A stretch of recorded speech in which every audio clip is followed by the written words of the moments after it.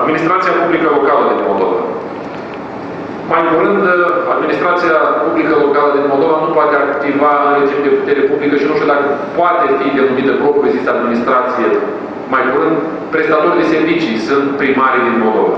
Pentru că un primar din Moldova nu poate aplica nicio amendă nimănui și nu poate aplica nicio sancțiune nimănui în general. Nu poate demula o construcție, nu poate ridica o tarabă de pe stradă dacă e comerț ilegal. Pentru că toate aceste prerogative, toate aceste competențe au rămas în continuare la ministere, la guvern.